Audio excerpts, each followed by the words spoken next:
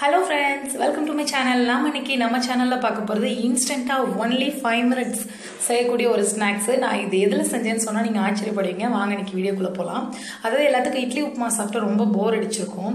So இப்போ இட்லி மீந்து போச்சுன்னா இட்லி போண்டா நம்ம சேனலில் செய்ய போகிறோம் வாங்க பார்ப்போம். ஸோ இட்லியை நல்லா இப்படி உதுத்து வச்சுக்கோங்க. அதாவது நான் மூணு இட்லிக்கு ரெண்டு பெரிய வெங்காயம் போடுறேன். மூணு இட்லியும் நல்லா நைஸாக உதுத்து வச்சுக்கிட்டு ரெண்டு பெரிய வெங்காயம் கொஞ்சமாக கருவேப்பிலை பச்சை மிளகா நாலு துண்டு பொடியாக நறுக்குனது நாலஞ்சு துண்டு மட்டும் போடுங்க. அதிகமாக இருந்தால் குழந்தைங்க சாப்பிட மாட்டாங்க ஸோ அதுக்காக கம்மியாகவே போட்டுக்கோங்க. உப்பு.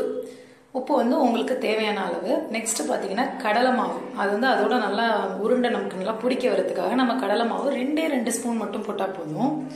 ஸோ ஒன்லி டூ ஸ்பூன்ஸ் மட்டும் போடுங்க. அதுக்கப்புறம் நெக்ஸ்ட் ஒன் தண்ணி. தண்ணி வந்து எப்படி ஊற்றினா ஒன்லி த்ரீ ஸ்பூன்ஸ் மட்டும்தான்.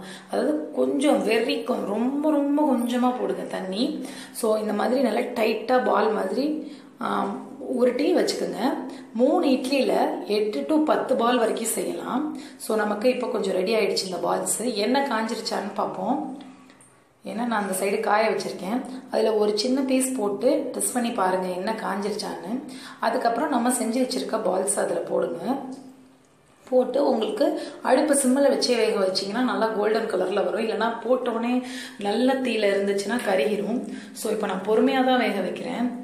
ஒரு ஃபைவ் மினிட்ஸில் இது ரெடி ஆயிடும் எப்பயுமே இட்லி உப்புமா சாப்பிட்டு சாப்பிட்டு போர் அடித்தவங்களுக்கு இட்லி போண்டா ஒரு மாறுதலான ரெசிபி ஸோ நமக்கு ரெடி ஆகிடுச்சு பாருங்கள் நல்லா எண்ணெயும் வடிச்சிட்டு நீங்கள் எடுத்துடலாம். இன்ஸ்டன்ட் ஃபைவ் மினிட்ஸில் இது செய்யக்கூடிய ஒரு ஸ்நாக்ஸு செம்ம டேஸ்ட்டாக இருக்கும். இதுக்கு ஜஸ்ட் ஒரு பூண்டி சட்னி ஒரு தேங்காய் சட்னி இருந்தால் போதும். இல்லை நீங்கள் சும்மாவே சாப்பிட்லாம். பாருங்கள் ரெடி ஆயிடுச்சு.